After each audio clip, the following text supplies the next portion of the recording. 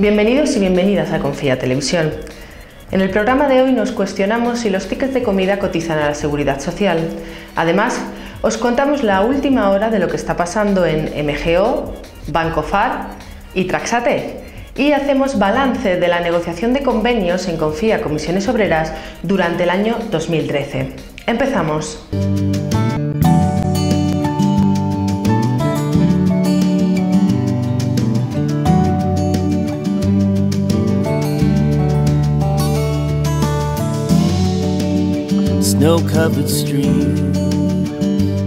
Hasta el mes de diciembre del año pasado, del 2013, eh, la Seguridad Social, la Ley General de Seguridad Social establecía que había determinados productos que las empresas entregaban a sus trabajadores en especie, como puede ser eh, seguros médicos o ayudas para comida y tickets en restaurante, estaban excluidos de la base de cotización.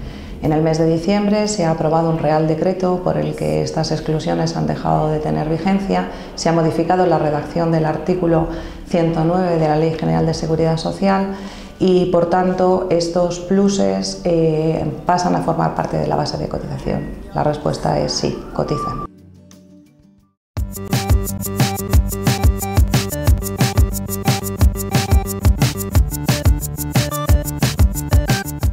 La empresa MGO continúa sin pagar sus deudas con una plantilla que lleva meses trabajando sin percibir las remuneraciones que les corresponden. Según confía Comisiones Obreras, la empresa se está financiando a coste cero a través del salario de sus trabajadores y trabajadoras. El sindicato reitera la necesidad de presentar demandas individuales ante la jurisdicción social por las cantidades adeudadas así como por la inaplicación de las tablas salariales del convenio. Los afiliados y afiliadas de comisiones obreras en Banco FAR han constituido la sección sindical de la empresa y han elegido como secretario general a Francisco José Ortega Rey. La constitución de esta sección sindical responde a tres objetivos fundamentales. Mejorar la interlocución con la dirección de la empresa, defender con más fuerza las condiciones laborales de la plantilla y atender de manera más eficaz a los y las afiliadas. El pasado 17 de octubre, la empresa Traxatec puso en marcha un expediente de despido colectivo. El periodo de consultas se cerró sin acuerdo y la empresa decidió presentar el expediente ante la autoridad laboral, decisión empresarial que los sindicatos han recurrido ante los tribunales. Previsiblemente la vista será en la Audiencia Nacional el próximo 13 de marzo, pero aún así, la empresa ha decidido empezar a repartir las cartas de despido entre los y las trabajadoras.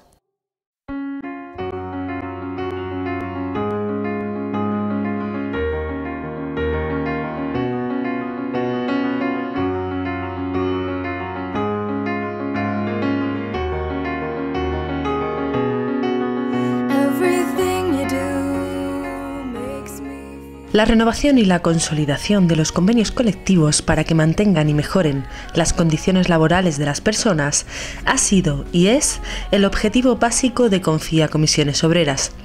El trabajo realizado por esta organización afecta de forma directa a casi 1.200.000 trabajadoras y trabajadores, lo que implica una enorme responsabilidad y un esfuerzo por entender sus necesidades y poder plasmarlas en propuestas concretas que articulen la negociación colectiva. Los resultados del trabajo de Confía Comisiones Obreras en esta materia durante el pasado año son un buen reflejo de la tarea realizada.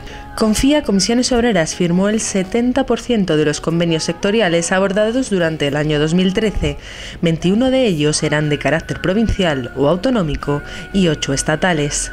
Los mayores retos para los y las negociadoras han surgido a la hora de abordar el mantenimiento del marco contractual y el contenido salarial, pero no han sido los únicos. El principal reto con el que se encontraba Confía en el año 2013, como todos ya conocemos era la introducción por parte de la reforma laboral de un límite en la ultraactividad, en la, negociación de los convenios. Y, por lo tanto eh, para Confía como para cualquier otra federación eh, la fecha de julio de 2013 eh, pues fue una, una fecha límite en la que la mayoría de los convenios, tanto los que venían de años anteriores como los que se habían iniciado en el mismo año 2013, pues intentaron eh, no llegar y tener los convenios firmados antes de esa fecha. Otro de los retos importantes con los que nos encontrábamos era eh, en el entorno de crisis económica en el que hemos tenido que negociar en, en este año pasado, era el incremento salarial al que estaban dispuestos a, a llegar las, la mayoría de las patronales con las que teníamos que negociar. El impacto de la última reforma laboral y la posibilidad de la pérdida de ultraactividad de algunos convenios también ha afectado a la negociación colectiva de Confía Comisiones Obreras, en concreto a 10 convenios sectoriales de ámbito provincial y autonómico que corren el riesgo de desaparecer y tres convenios de ámbito estatal, TICS, Servicios de Prevención Ajenos y ETTs. Estos dos últimos permanecen vigentes en ultraactividad después de que la Audiencia Nacional no se ha dado la razón y el primero sigue en prórroga de negociación y por lo tanto también mantiene la ultraactividad.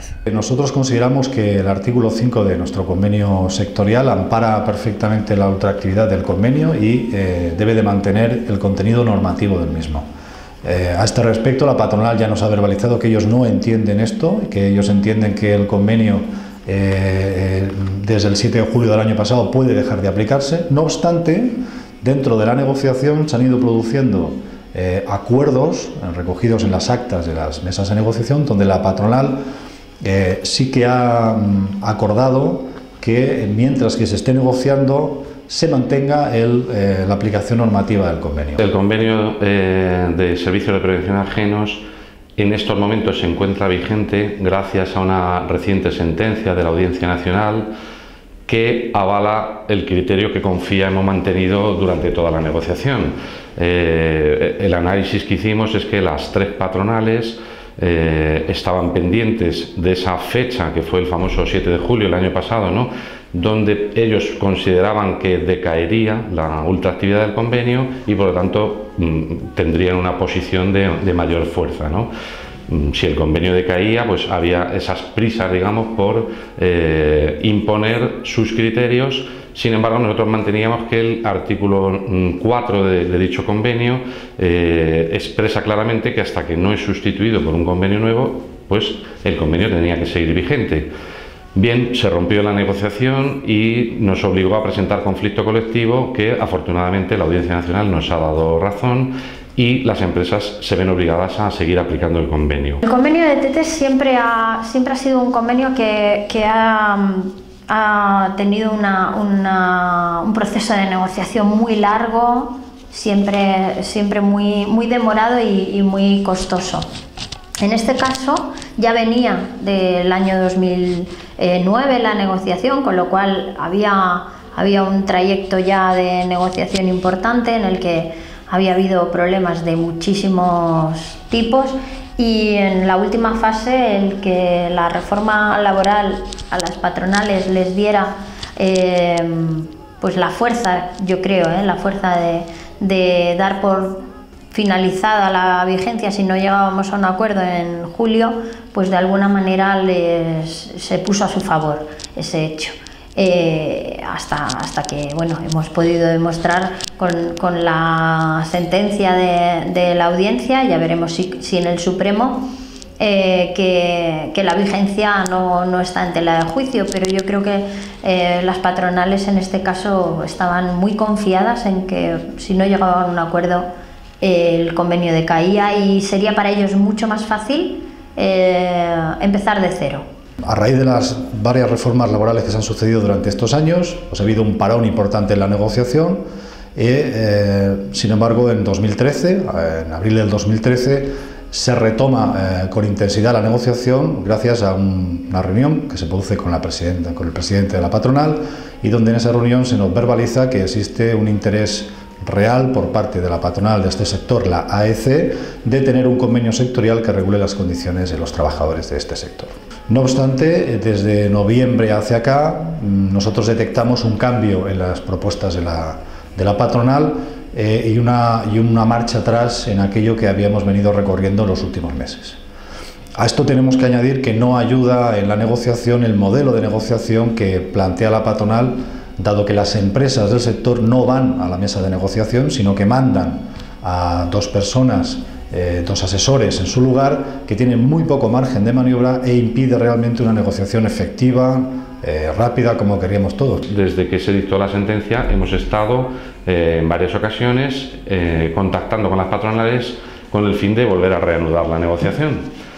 Y bueno, pues parece ser que sí, que a pesar de, bueno, que son tres patronales, cada una con sus intereses y con sus diferencias, pues nos han escrito recientemente y la próxima semana tendremos una negociación de la mesa, eh, o sea, una nueva reunión de la mesa para retomar la, negociación. Hemos remitido dos eh, cartas a, ambas patronales, tanto a Sempleo como a FEDE, instándoles y proponiéndoles varias fechas para reunirnos y a fecha de hoy no tenemos todavía respuesta. En el año 2014, Confía Comisiones Obreras ha iniciado la negociación de nueve convenios colectivos sectoriales, ocho provinciales y autonómicos y uno de ámbito estatal. Y hasta aquí hemos llegado, pero antes de irnos queremos felicitar a todas las mujeres del mundo mundial e invitaros a todos y a todas a que vayáis a las manifestaciones del sábado día 8, Día de la Mujer Trabajadora.